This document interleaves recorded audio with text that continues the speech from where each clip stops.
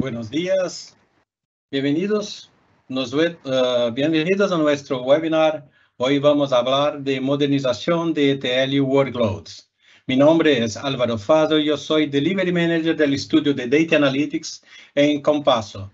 Nos acompañan en este webinar Ángel Conde, Partner Solutions Architect y Analytics Specialist en Amazon de AWS. Antes de empezar a hablar sobre los workloads de ETL, me gustaría de compartir con ustedes, ustedes algunas cosas sobre eh, Compass. En Compass creemos que hoy vivimos un escenario en que las organizaciones son cada vez más tecnológicas, uh, percibiendo en la innovación la posibilidad de construir nuevos modelos de negocios, aprovechar las oportunidades y generar ventaja competitiva. Compass se posiciona como la empresa que guiará a socios y clientes hacia un futuro donde la tecnología genera valor a través de un uso innovativo y creativo. Gostamos de creer que somos los geeks que se ocupan de la tecnología, permitiendo a nuestros clientes concentrarse en sus actividades principales. Por eso gostamos de decir que everybody needs a compass. Hoy somos uh, una organización con más de 4.500 empleados distribuidos entre las diferentes empresas que conforman el grupo, en un modelo de actuación uh, global. Nuestro modelo de nuestro modelo de crecimiento digital de próxima generación se basa en cuatro clústeres o pilares de conocimiento. Através destes clusters, estabelecemos a visão que guia nossos Innovation Studies em um modelo descentralizado e orientado ao cliente. Nossos pilares, perdão, uh, nossos pilares são o Marketing Analytics Engineering, o Digital Next Generation Platform, Immersive Real-Time Experience e Scaled Agile Transformation.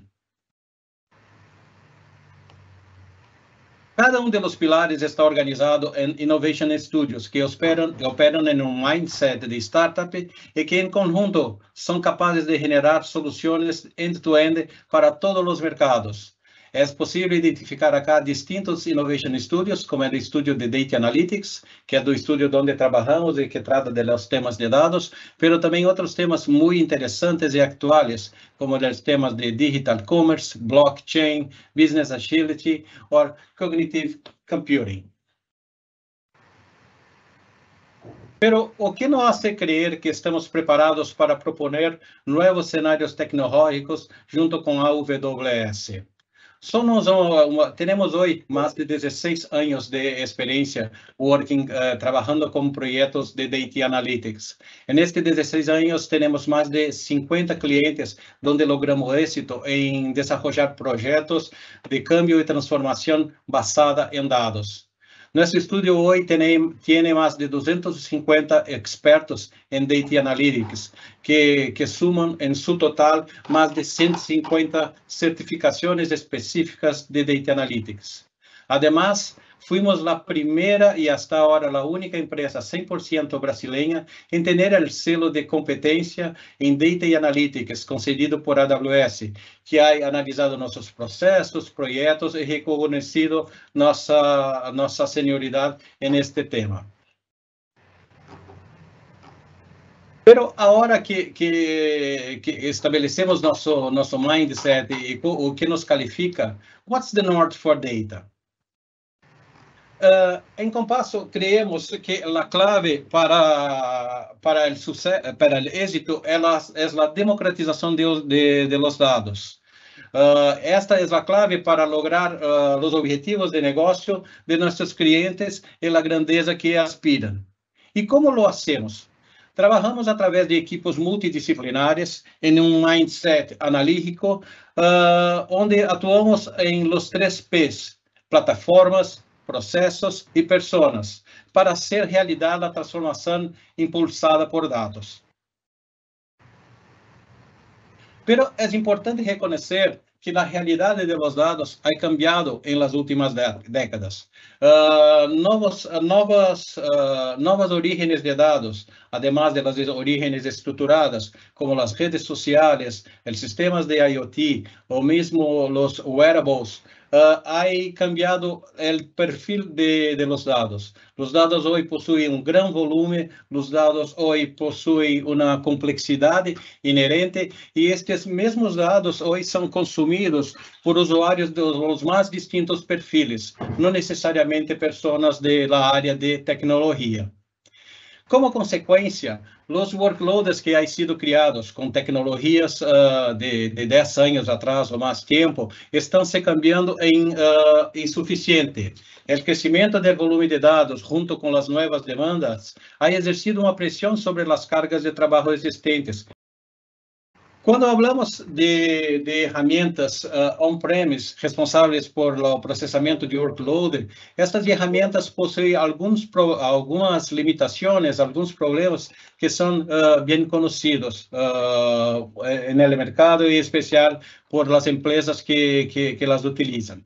O primeiro de todos é o tema da escalabilidade limitada.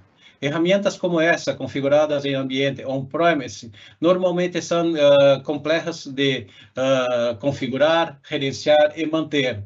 Tendem a ser difíceis de fazer a atualização e o tema de escalabilidade, em geral, se apresenta como uma barreira bastante, uh, uma limitação bastante importante. Outro aspecto importante diz respeito à liberdade de você cambiar de tecnologia ou uh, evaluar novos cenários para processamento de workload. Em geral, ferramentas como estas que estamos falando são ferramentas que trabalham com linguagens, com linguagens ou com arquiteturas que são proprietárias. E sua utilização normalmente está associada a contratos de longa duração que não são uh, muito claros quanto a seus modelos ou flexíveis no que diz respeito a câmbios. Outro aspecto importante é o custo que está associado a esta, a esta geração de ferramentas. Ferramentas como esta tendem a ser uh, muito custosas e, em geral, uh, contemplam apenas as funcionalidades mais uh, básicas da ferramenta. Se, por exemplo, em um determinado cenário, vocês necessitam de um catálogo central de dados ou de suporte ao processamento de data streaming, tens que contratar funcionalidades adicionais a um custo adicional. Por último, pero no menos importante, tem o tema de knowledge gap.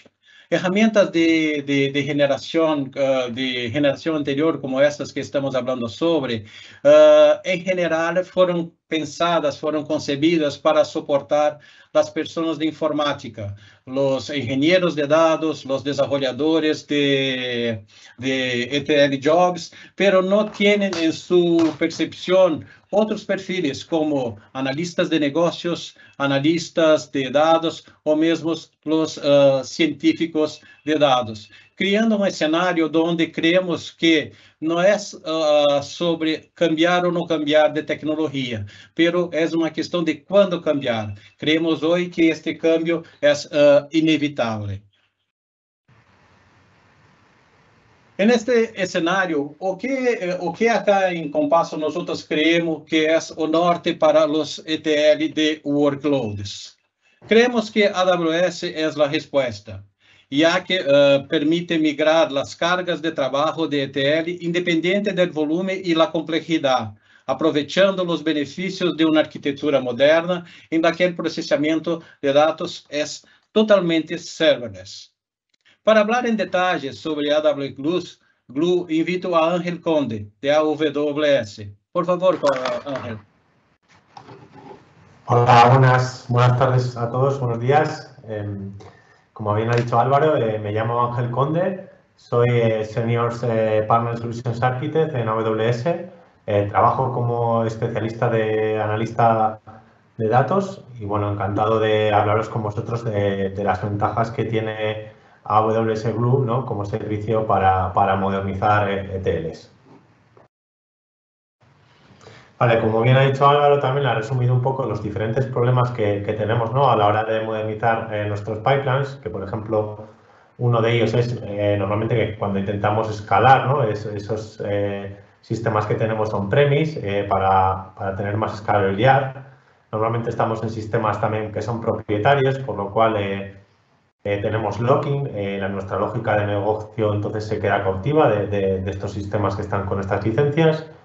Luego también podríamos tener una opción, ¿no? El, el tema, por ejemplo, de montarnos nosotros unos clusters de Spark, ¿no? Eh, que, que, al final eh, Glue es un motor de, Spark serverless, ¿no? Pues podemos decir, bueno, pues lo montamos nosotros. ¿Qué es lo que tiene esto? Pues bueno, que hay que mantener todo el clúster, eh, hay que mantenerlo, hay que actualizarlo, qué es lo que pasa cuando no hay trabajos en ejecución, estamos pagando por ese clúster, etcétera, etcétera. Cosa que con Glue no, no pasa, ¿no? con Glue pasamos a estar en un modelo de que nosotros lanzamos un trabajo con X recursos y cuando se acaba ese trabajo solamente se nos cobra por la, por la capacidad de cómputo que hemos utilizado. Y luego, por último, eh, también tendríamos opciones de, otros proveedores cloud, ¿no? otros servicios de, de, ETL modernos, pero en este caso lo que nos pasa es que muchas veces eh, son eh, muchísimo más caros de utilizar que Glue.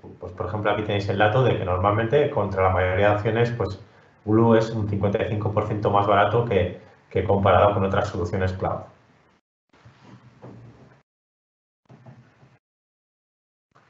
Vale, ¿qué beneficios tenemos eh, a la hora de migrar eh, a AWS Glue? Pues bueno, como hemos dicho, una de ellas es que es un motor de serverless, de Spark. Esto que nos permite que es que al ser serverless no hay infraestructura que mantener.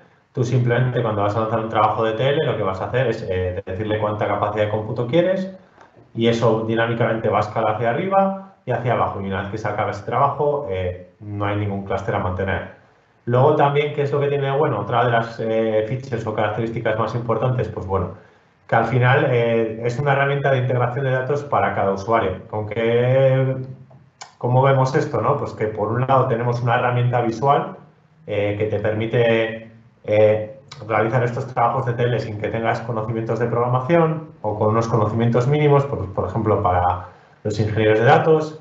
Eh, también permite que los data, eh, utilizar programación basada en notebooks, con un notebook de Jupyter, que es una interfaz que normalmente es utilizada por los data scientists. Eh, y luego también, pues al final también te puedes subir tus propios scripts, scripts de Python programados en PySpark y ejecutarlos. Es decir, es una herramienta que permite ser utilizada por los diferentes tipos de usuario que pueden estar desarrollando ETLs en una, empresa, en un caso de uso, etcétera, etcétera. Vale, luego también tenemos la parte de que es eh, cost effective. Aquí vamos a decir ¿no? que lo que hemos dicho, que como es una herramienta que tú utilizas y cuando se acaba el, proceso acaba, luego también tenemos características que permite escalar dinámicamente esa capacidad de cómputo para que no tengas que estar pagando eh, mucho por algo que no vas a utilizar completamente y ciertas características muy interesantes. Eh, normalmente lo que nos pasa es que eh, utilizando Glue vamos a tener una infraestructura de TL que va a ser un 55% más barata que otras soluciones. Y luego, por último, cosa muy interesante, ¿no? que ahora mismo Glue se puede conectar directamente a unos más de 60 fuentes de datos, es capaz de procesar petabytes de datos, tanto en tiempo real como en batch. Y luego aquí también creo que es muy importante que al final eh, tenéis que pensar que por debajo hay un motor serverless de Spark. Entonces, eh, básicamente podemos decir que casi toda fuente de datos que conozcáis eh, tiene un conector desarrollado para Spark. Por lo tanto, aunque no esté completamente integrado con Glue, lo vais a poder utilizar. Y luego, el último punto a comentar sobre Glue ¿no? es un poco el que no hay locking aquí, que al final todo lo que desarrolléis en esta herramienta es open source, es decir, todo, aunque utilicéis las herramientas que no son de programación, las herramientas visuales, eso se traduce en los scripts de Python, en PySpark eh, o en Scala, que también podéis desarrollar, que al final los podéis llevar esa lógica de negocio a cualquier parte. Es decir, no, no es una herramienta privativa. Bien, como resumen de todas estas características, lo que podemos decir es que AWS Glue al final es una herramienta serverless de integración de datos, ¿no? que nos permite tanto descubrir, porque tiene una parte de catálogo de datos, eh, preparar los datos, eh, hacer las transformaciones que requiramos eh, y luego también, pues por un lado, pues podemos combinar datos de diferentes fuentes, podemos aplicar a, esos datos que estamos tratando de limpiar o preparar modelos de Machine Learning o bien podemos desarrollar aplicativos en end con los notebooks o con los scripts. Vale, dentro de cómo vemos en AWS las plataformas modernas de datos, que ya veis ahí a la derecha en, la pantalla, normalmente Glue se sitúa en una, parte, en, la parte intermedia, ¿no? Es, es un poco esa herramienta que nos permite coger eh, las fuentes de datos que tenemos, las diferentes fuentes de datos, tanto como había comentado Álvaro, ¿no?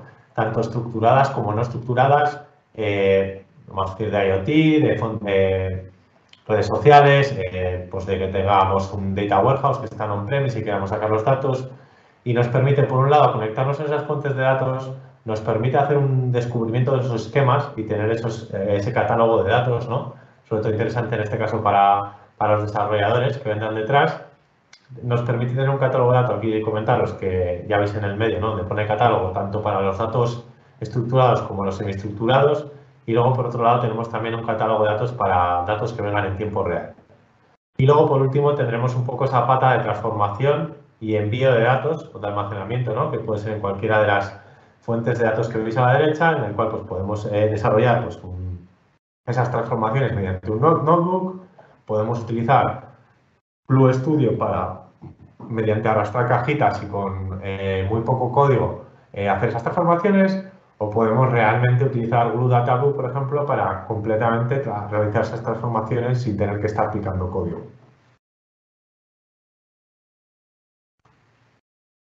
Eh, ¿Cómo utilizan ahora mismo los, los diferentes usuarios AWS Glue? Pues por un lado tiene diferentes casos de uso.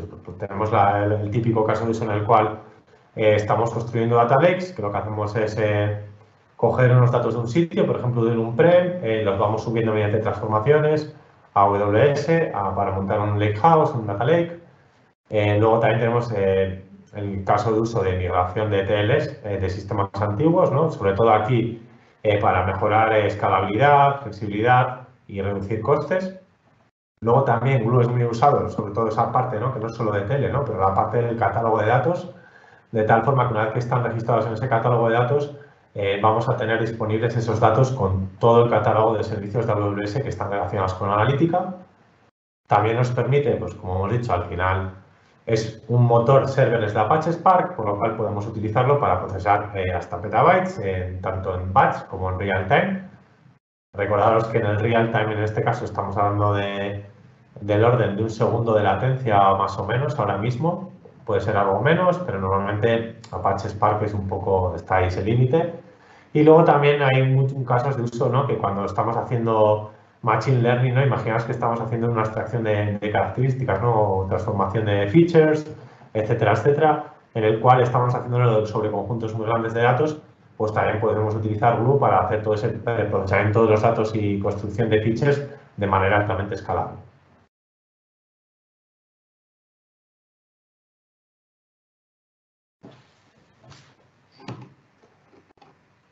Vale, eh, al final tenéis eh, básicamente el resumen ¿no? de lo que estamos diciendo sobre Glue, es que al final eh, los clientes que han modernizado ¿no? sus procesos de tele con esta herramienta, pues normalmente, ¿qué nos pasa? Pues que al final vamos a poder desarrollar cosas más rápido, vamos a tener nuevas capacidades disponibles, no solo por los cost ¿no? por la reducción de costes, sino porque al final, como vamos a poder ir más rápido, vamos a poder desarrollar nuevas características eh, mucho más fácilmente. Al final, eh, también, como ha dicho Álvaro, que, en este proceso ¿no? que de Data Analytics ¿no? las, las, tecnologías cambian, ¿no? Y bueno, al final, de vez en cuando, pues toca cambiar un poco de arquitectura y aquí recordaros que es un poco una herramienta open source, que no hay locking, que esto se traduce a, scripts eh, que pueden ser ejecutados open source en Apache Spark. Luego también, pues que muchas veces, ¿no? cada compañía un poco tiene o cada herramienta de tele ¿no? tiene su, propia comparación de características, pero bueno, que al final eh, es muy difícil comparar, hay que ver específicamente caso de uso, eh, no podemos poner la típica tablita en la cual es muy difícil ¿no? hacer esa comparación entre diferentes soluciones. Y luego, pues bueno, eh, también hay herramientas que te permiten importar o intentar traducir trabajos de tele a otro tipo de tecnologías, pero sí que es cierto que que aquí es muy difícil que se pueda llevar todo esto de manera completamente automática y entonces lo que hemos visto nosotros con nuestros clientes es que normalmente lo que se intenta es eh, reutilizar eh, frameworks, vamos a decir así, librerías que sean comunes para poder acelerar todas estas migraciones. Y bueno, eh, por mi parte hasta aquí era todo y ahora va a proseguir Álvaro un poco hablando sobre los diferentes aceleradores que tiene Compaso a la hora de poder desarrollar nuestros eh, proyectos de analítica. Eh, gracias, Andel. AWS Glue es realmente una, una, solución increíble. Y nosotros ahora vamos a hablar de uno de nuestros aceleradores, que es Dora Lakehouse, que es una, una solución que ha sido creada y que, se, que toma gran beneficio de las funcionalidades y de la flexibilidad y de la naturaleza serverless de AWS Glue. Los aceleradores en Compass son como la materialización de la experiencia que nosotros construimos en nuestros distintos proyectos. No se trata de un producto, pero de uh, código que nosotros compartimos e incluimos como parte de las entregas de nuestros proyectos.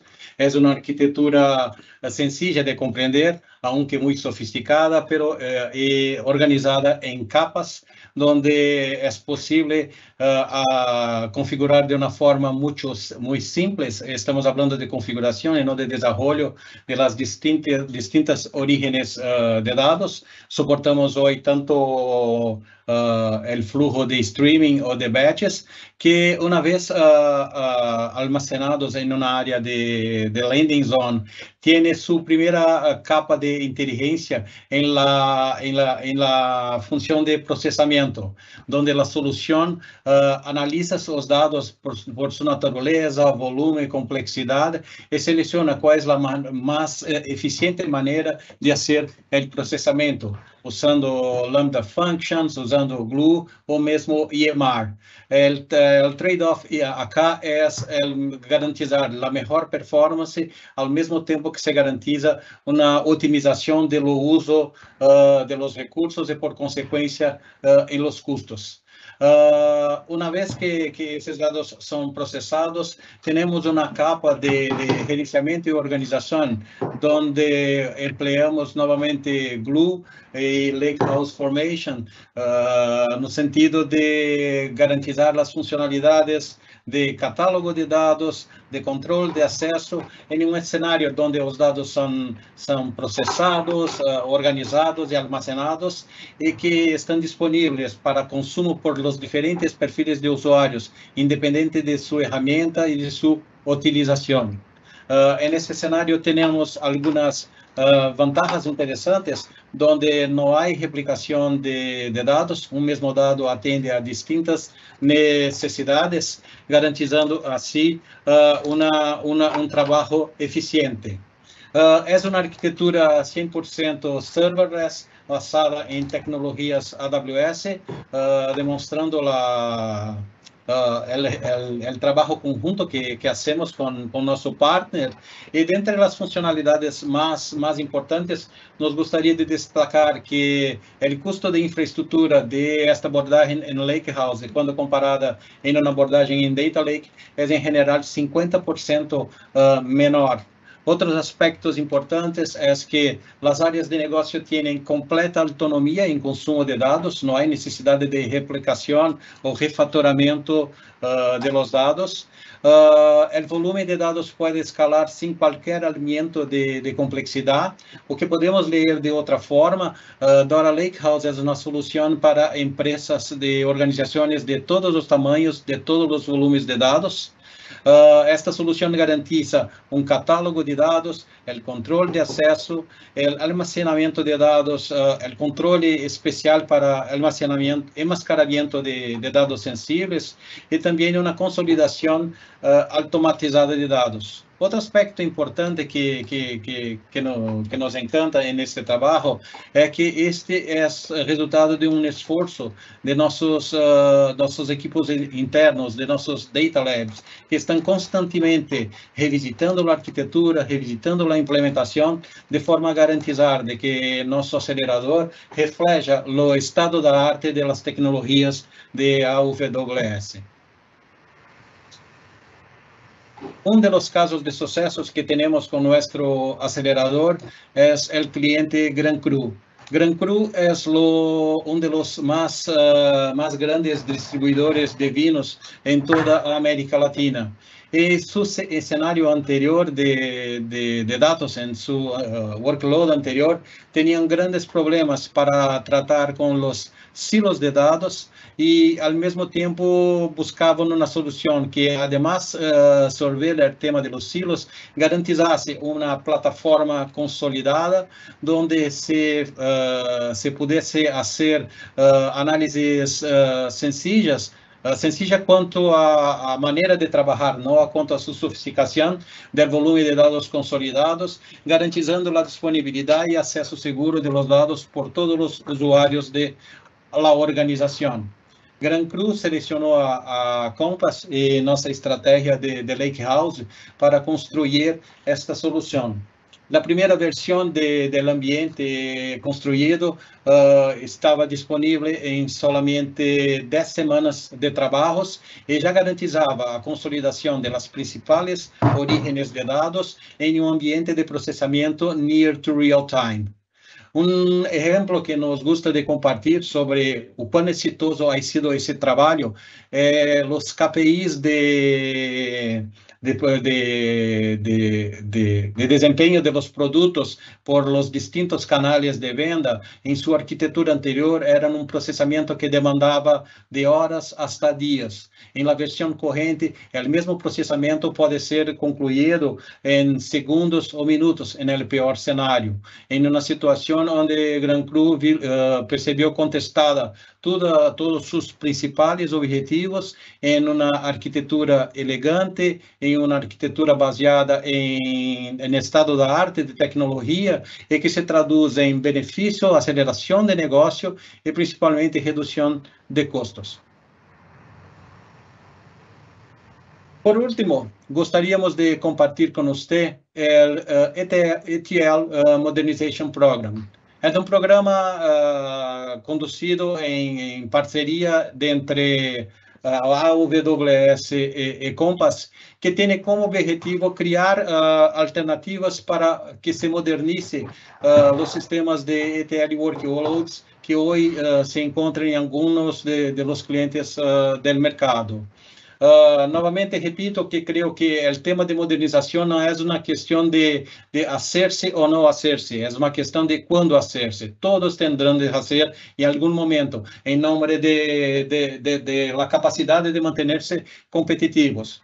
E o que, o que uh, objetiva o programa? Reduzir os custos de integração pela migração de dos workloads existentes para AWS Glue e tecnologias que se, se relacionem e, ao mesmo tempo, permitir que os clientes uh, façam esse processo de uma forma uh, tranquila, de uma forma eficiente, pelo emprego de aceleradores de migração.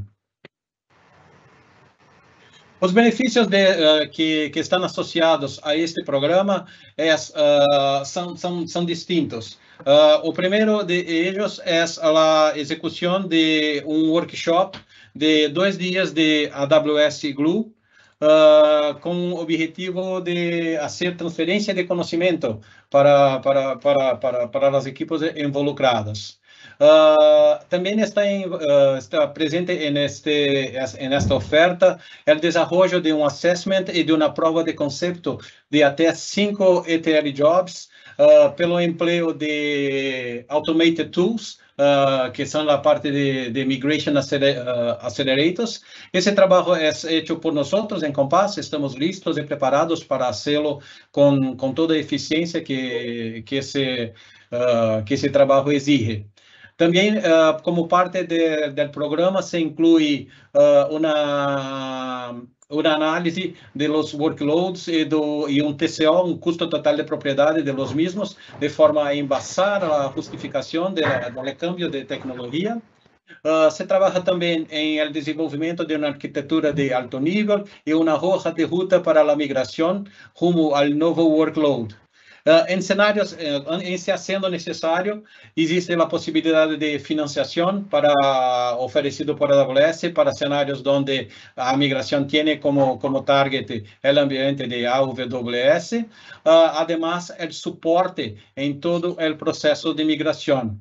Para nosotros es muy confortable hablar de, de este programa porque es el resultado de, de, una parcería que nosotros mantenemos con AWS hace muchos años. Estamos muy cerca de las tecnologías y completamente preparados para hacer front, uh, para, para contestar a, todas las, a todos los retos que se hacen necesarios. En verdad, uh, creemos que, que, que una, una, una oferta de, de gran valor. Uh, finalmente, uh, de agradecer a ustedes uh, por su tiempo, por su atención, al mismo tiempo que me coloco a sus enteras disposición para tratar de cualquier temas de, uh, que fueron ahí sido abordados en, en esta charla o, o, temas otros que ustedes gostariam de hablar con más detalle, en especial en el tema de, del programa de modernización de ETL, Uh, entonces, uh, convido a Ángel para compartir con nosotros uh, una última palabra. por favor, Ángel. Muchas gracias, Álvaro. Eh, bueno, eh, como has estado comentado, eh, recordar que, que, tenemos un programa a disposición ¿no? para este tipo de problemática en el cual hay que migrar, ¿no? modernizar pues todo tipo de cargas de trabajo, workloads DTL. Aquí recordar que que esto sería un programa que va atrás de los partners como Compaso, que ya veis, como comentaba Álvaro, es, es, esta es, tiene la competencia de Analytics, por lo cual ahí iríais con su soporte y recordar que en toda la migración también estaremos nosotros ayudando tanto a vosotros como a Compaso en caso de que haga falta eh, para poder resolver todos los problemas que puedan surgir. Y bueno, eh, sin más, eh, como ha dicho Álvaro, también en mi caso, si tenéis cualquier duda sobre Blue o o cómo, cómo os puede ayudar eh, con Paso con este tipo de programas para acelerar la modernización de workloads de ETL, pues no dudéis también en contactarme. Entonces, gustaría de agradecer a todos por sus tiempos, nos colocamos a disposición e iniciamos agora este webcast. Muchas gracias, hasta luego y un buen día.